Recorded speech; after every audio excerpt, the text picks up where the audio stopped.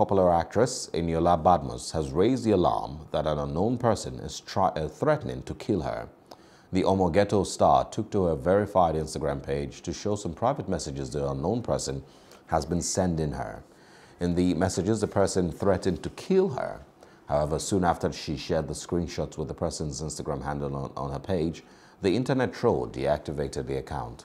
Badmus is one of many Nigerian celebrities who is often trolled on the internet for the plus-size actress, she is often body-shamed by trolls, but in an interview she noted that she has since developed thick skin against online trolls. Hello, hope you enjoyed the news. Please do subscribe to our YouTube channel and don't forget to hit the notification button so you get notified about fresh news updates.